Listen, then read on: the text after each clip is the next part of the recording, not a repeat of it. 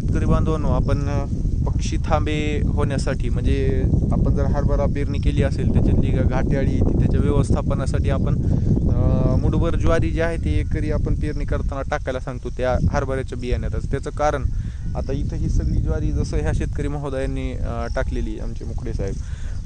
तर त्याचा फायदा काय होत आहे तर बघा इथं हा जो काही पक्षी बसलेला आहे ह्या ज्वारीवर आणि असं इकडं पण आहे एक पक्षी असं बसलेलं ज्वारीवर. तर हे पक्षी काय करतात? आता जस्ट मी एक ऑब्झर्वेशन घेतलं. की हा पक्षी काय करायला होता एक पतंग होता.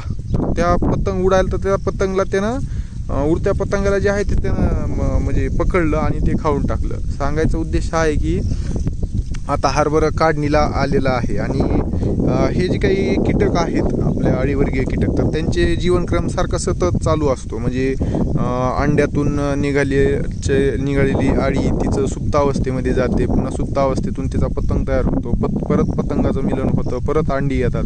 ही जी आहे सायकल ब्रेक करण्यासाठी हे पक्षी थांबे खूप महत्त्वाची भूमिका जी आहे ते बजावतात.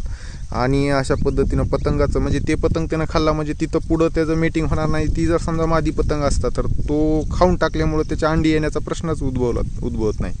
तर हे अशा पद्धतीनं जे आहे ते पक्षी थांब्याचे फायदे जे आहे ते आपल्याला विविध पिकामध्ये जे आहे ते मिळतात.